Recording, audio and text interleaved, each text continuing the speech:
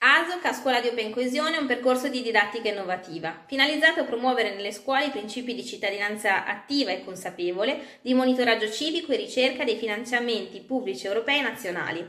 Docenti e studenti sono accompagnati dai referenti ASOC e referenti Istat territoriali. L'Istat di Milano ha abbracciato il progetto tre anni fa, accompagnando docenti e studenti in un viaggio che parte dalla differenza tra dato e dato statistico, tra la statistica e la statistica ufficiale, accompagnandoli poi nella navigazione delle banche dati fino alla narrazione e alla rappresentazione grafica del dato.